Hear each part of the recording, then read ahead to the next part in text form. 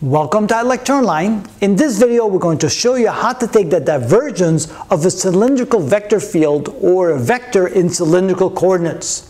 To remind ourselves what that looks like, here we have a little drawing. We show the x, the y, and the z axis. But if we take any point in space in cylindrical coordinates, we have a distance away from the z axis called rho. We have the unit vector rho hat.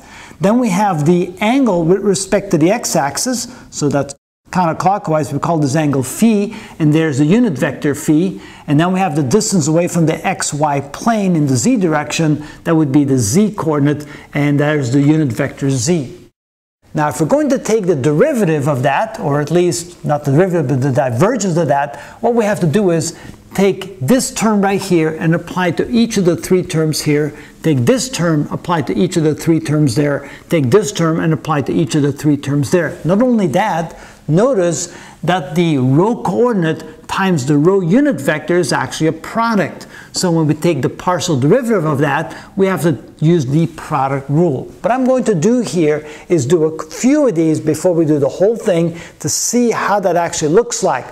Not only that, we have to remember that the partial derivative or the derivative respect to rho, uh, respect to phi of rho hat is actually phi hat, and the partial derivative or the derivative of, of phi hat with respect to phi is equal to negative rho hat. So remember that we have to take that into account as well. But first what we're going to do is take the partial derivative of the first term here with respect to rho, and of course we have to multiply times rho hat. So we have rho hat times the partial with respect to rho of this first term right here. What does it actually look like? Since that's a product, this is going to be equal to rho hat times, using the product rule, we take the first, a sub rho, times the partial with respect to rho of rho hat, the partial of rho hat with respect to rho, plus the second, rho hat times the partial with respect to rho of the, co the coordinate a sub rho.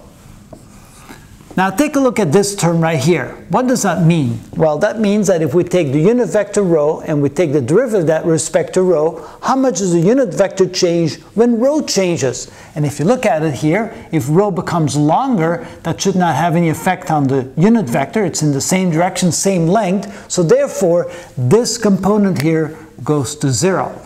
Now we multiply this times this, and this is the dot product. What is rho dot rho? Well, rho dot rho is equal to 1, and then the surviving term is simply the partial of A with respect to rho, or the rho coordinate of A with respect to rho.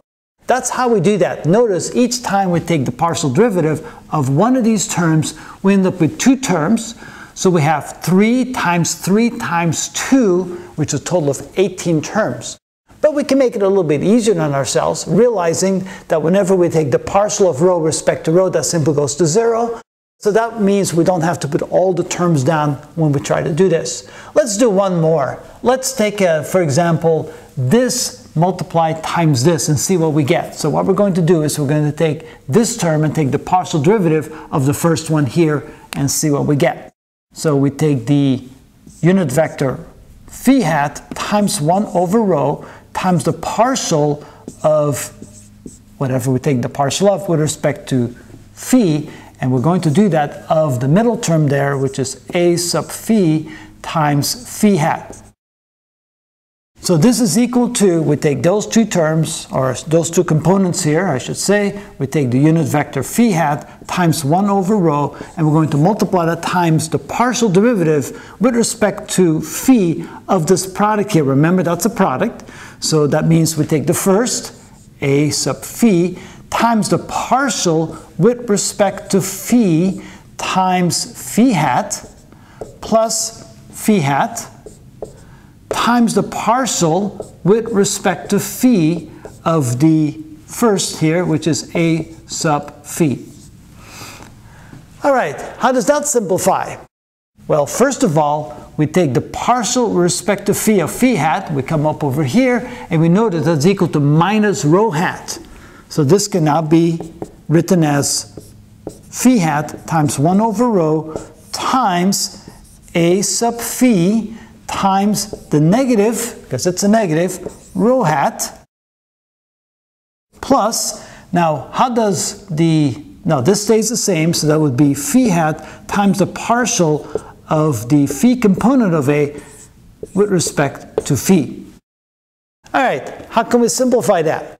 Well, first of all, if we multiply this times this, remember this is a dot product, and when we dot the phi unit vector times the rho unit vector, we get zero. So this term goes to zero, because when we multiply this times this, that is of course perpendicular to each other, the cosine of 90 degrees is zero, so this goes to zero, and we're then simply left with this times this, which is 1, because when we dot rho, rho hat times rho hat, we get 1. So it gives us 1 over rho times the partial of A sub phi with respect to phi.